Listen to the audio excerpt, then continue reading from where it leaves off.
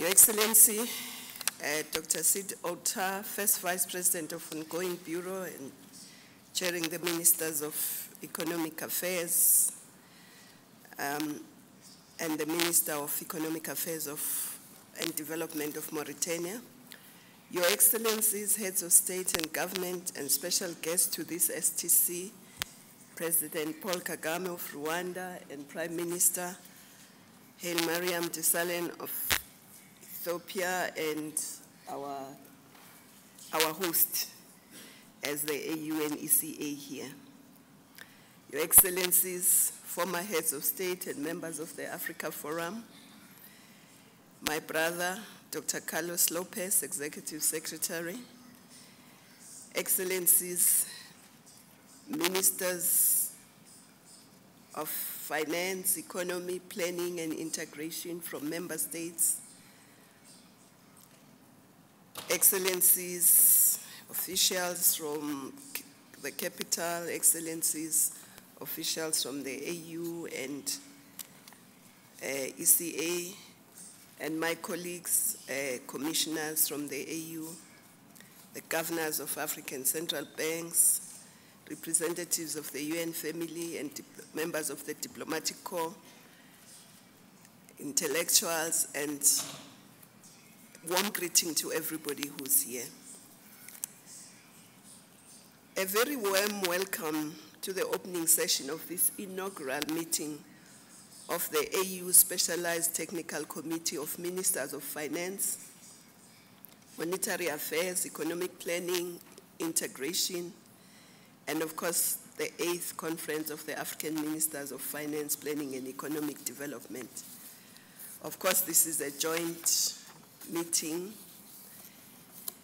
and it's taking place at a very critical time for development in Africa, when the need for integrated approaches, paradigm shifts, and coordination has never been greater. We all know now that in January 2015, the AU Summit of Heads of State did adopt Agenda 2063 after more than two years of consultations with the African Citizenry First uh, from all walks of life, followed by governments and RECs. Now, a lot of people tell us Agenda 2063 is ambitious. Um, but,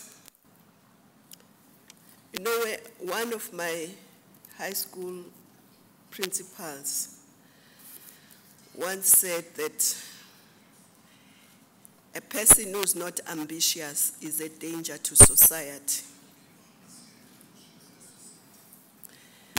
So I don't know why it's a problem if this is ambitious.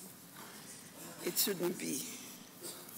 We should, Africans have a right to be ambitious, and we are.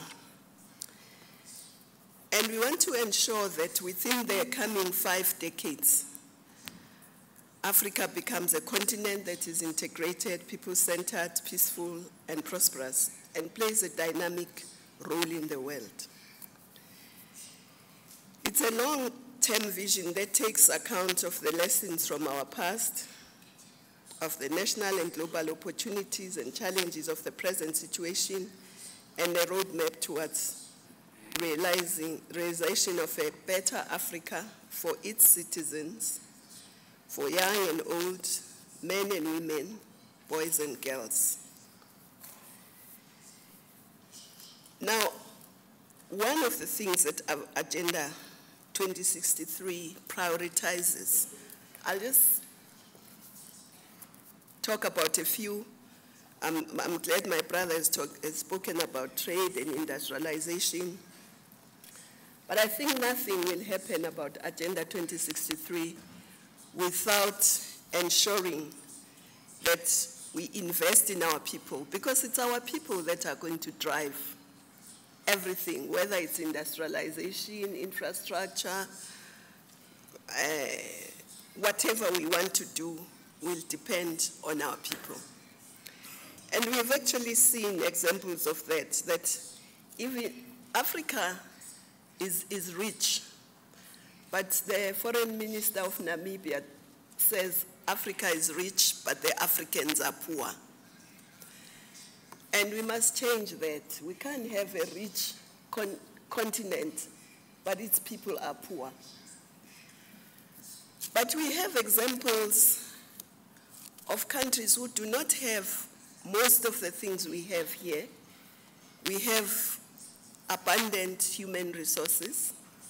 We have abundant mineral resources. We have abundant arable land. We have abundant natural resources, sun, sunshine. But why are we poor? Why are Africans poor? But we have examples like, I won't go outside the continent, I'll remain with the continent. Mauritius, if we take Mauritius, they don't have many of the things I've mentioned, but they have people. They've invested in their people, and their people have figured out what to do, and Mauritians are not poor. And I can quote a few others. So if we invest in our people, and I'm, I'm, I'm saying this because I've been minister in my own country, sometimes health, education is seen, are seen as ministries that are just a bottomless pit of spending. They are not seen as a critical investment for economic development, for the development, socio-cultural development of the country. And I think it's important that we see the investment in our people as the first prerequisite for all these things that we are going to talk about to happen for Agenda 2063 to happen. So, and we must begin to shift the focus. I'm not saying we, we do only, but we shift the focus to STEM areas, maths, science, technology, engineering are going to be very important going forward. And I'm glad that there are countries which are already doing that. And I hope the Prime Minister of Ethiopia who's here will share what they are doing in that area. And they are doing very well. And it can be done. Because this skills revolution is a necessary ingredient for the success of Agenda 2063. So we need thousands and thousands more engineers, scientists, geologists, architects, town planners, you name it, health professionals, teachers, you name it. We need thousands and thousands of those. And we attended a meeting not so long ago, maybe three weeks ago in Dakar, on higher education. And all our, most of our institutions of higher learning were there, and all the uh, NGOs and philanthropists who are interested in higher education were there. And it was agreed that we need to develop the talents of our people in order for us to have this shared prosperity. The second area I want to just focus on is that this year is the year of women's empowerment. Last year, it was the year of agriculture. And I'll just share with you what women want to do in agriculture. The women in agriculture in Africa, they are the biggest workforce actually in agriculture.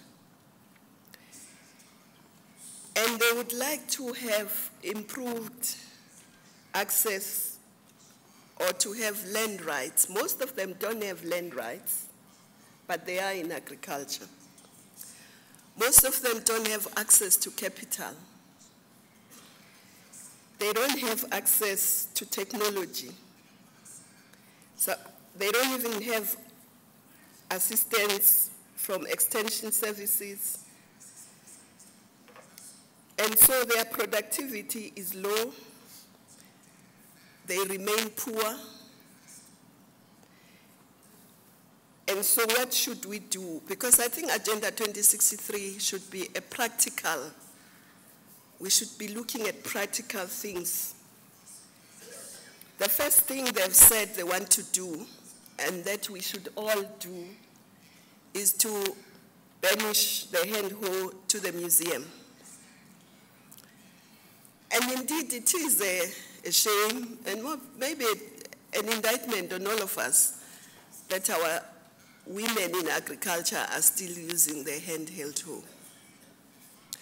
So Agenda 2063 wants to the handheld hoe to disappear from the face of our continent in 10 years, and it should be possible.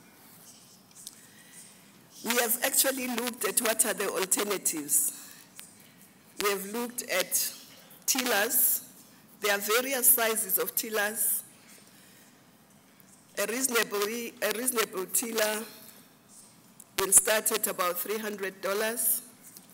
Of course, the most expensive is 5,000, but a $1,000 tiller can do most of the things that need to be done. So we are starting a campaign this year to start replacing the hoe with the tillers.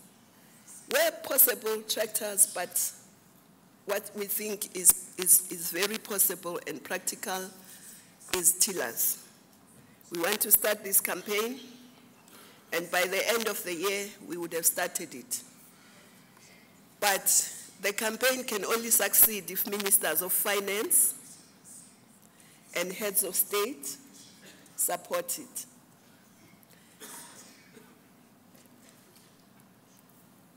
And I'm sure you, you surely support it, don't you?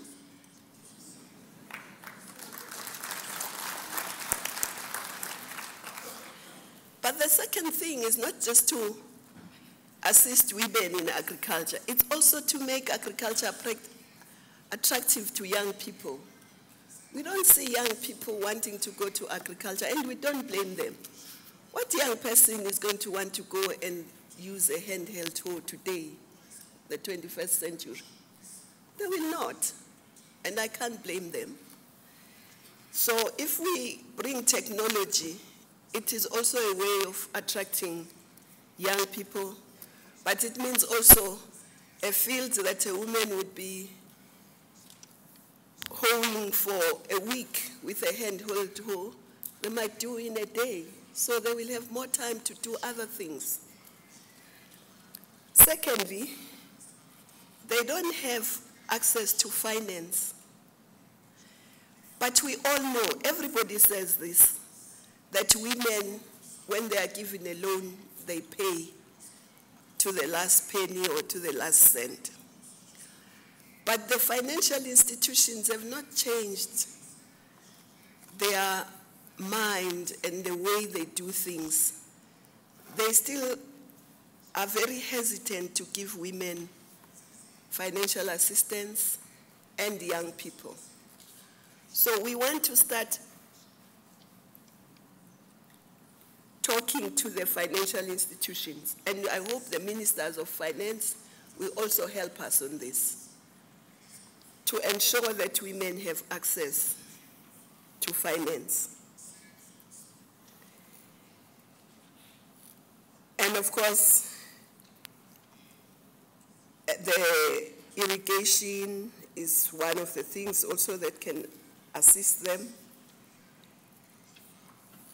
A bit of training in, in, in, in, modern technologies is important. But this may transform agriculture, but we also want women to move to the next stage. Young people also of agro-processing and becoming and taking part in agribusiness.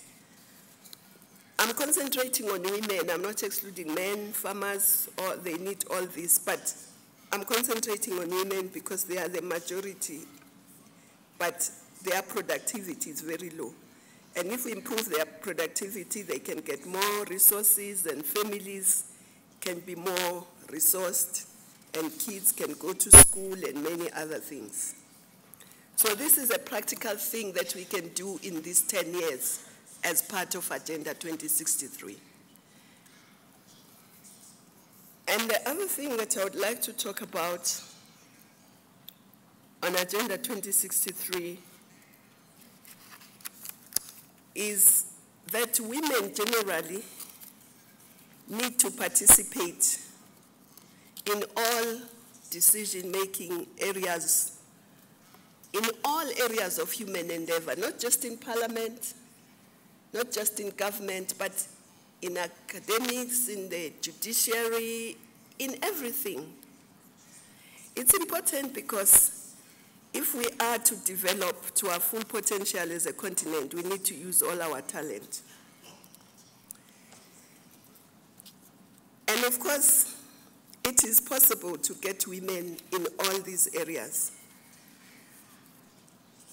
But I'll just use maybe Parliament for now, because I know we are having about 14 countries that are going to go into national elections.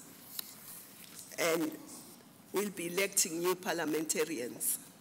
And we hope that all of them will have women between 30 and 50 percent in their lists. And this is possible, and I hope that President Kagame, who's here, will say something about it. Because we are very proud that 14 of our countries have passed the international threshold of 30%, but only 14 have means 40 haven't. But we are proud because the leading country in the world in terms of women in parliament is sitting with us here, leading the world, not leading the continent.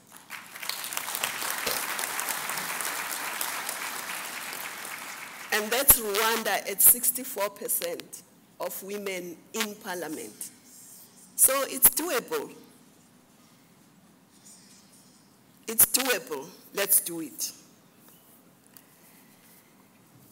And of course, it doesn't, it shouldn't end in, with Parliament, though Parliament is very important because that's where laws are made. And if you bring women into Parliament in, critical, in a critical mess, they will bring different perspectives. They'll also be very people-centered. They'll make sure that there's clean water in the homes, and children don't die of diarrheal diseases. They make sure that there's energy in the homes. They'll make sure that everything that affects a human being is attended to. So it's an area that, as this is the year of women, 20 years after Beijing, we must be looking at. And in June, we're working with uh, my brother there, Carlos, we're going to bring an index that's going to be a baseline of where all of us are in terms of women participation in all areas of human endeavor. So that we can say when we started Agenda 2063, this is where we were. And we are going to be, of course, looking at this index almost every year to see where there are improvements. And to discuss why there are no improvements, what are the bottlenecks, share experiences of those who are succeeding, because again, we should be really driving this in Agenda 2063. So we are going to bring that index, and of course we'll be very honored to praise those who are making good progress and to encourage those who are not to follow suit.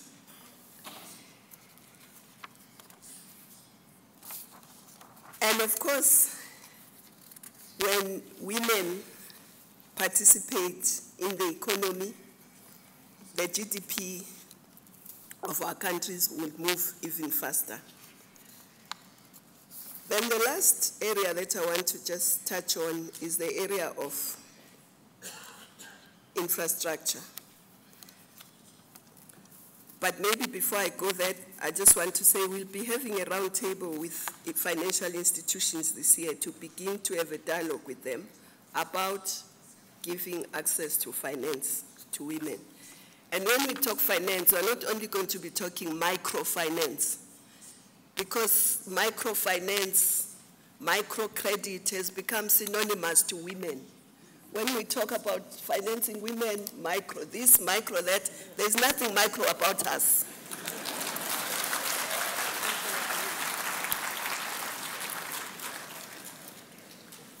So let me just touch on infrastructure.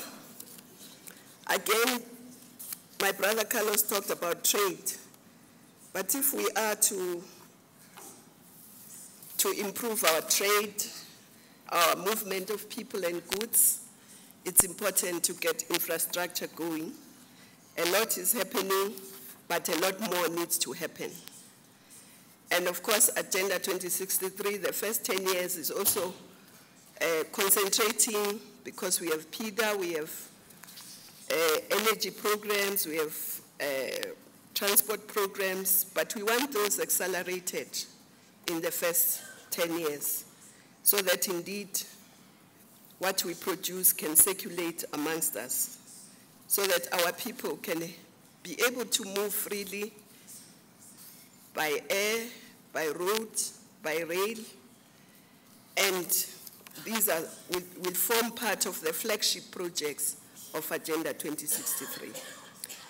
And we, we also want to begin to just say, yes, free movement of people and goods. It also means that our people should be able to move within the continent freely. ECOWAS is doing very well on that within ECOWAS, and I think they are a shining example. But there are also countries and East Africa is following, and I hope that the other RECs will also follow. There are also countries that have decided to remove visa restrictions for all Africans. And I don't know whether it's the president or the fact that he also works with a lot of women and men in his cabinet, or a combination that Rwanda is also leading on this. They've removed all restrictions for Africans. I can get into a plane now. I can get into a plane now, go to Rwanda. I don't have to via their embassy for a visa. But it's interesting because a lot of our big countries sometimes say they fear that they'll be swamped if they open up and this and the other. Rwanda is one of the smallest countries, if not the smallest. But it has only reaped benefits from doing that. It hasn't seen major disadvantages. And I hope the president can share with us on that. Because integration means also that. So these are the few things that I also just wanted to share with you and to say that integration is our raison d'etre. And so we have to look at all the areas of integration, including broadband. Again, East Africa is leading on this, and President Kagame is the African Union champion on ICT. And they've even removed roaming fees which we all suffer from in our various regions. They've rem removed roaming fees, they've not lost revenue, but they've improved because traffic has improved. In some instances, it has trebled, some instances, it has doubled. So I think sharing some of these will make us realize that these things are possible and we can share experiences and how they did it, but we need the agenda of 2063, the Africa we want, to be characterized by implementation of practical things. I thank you.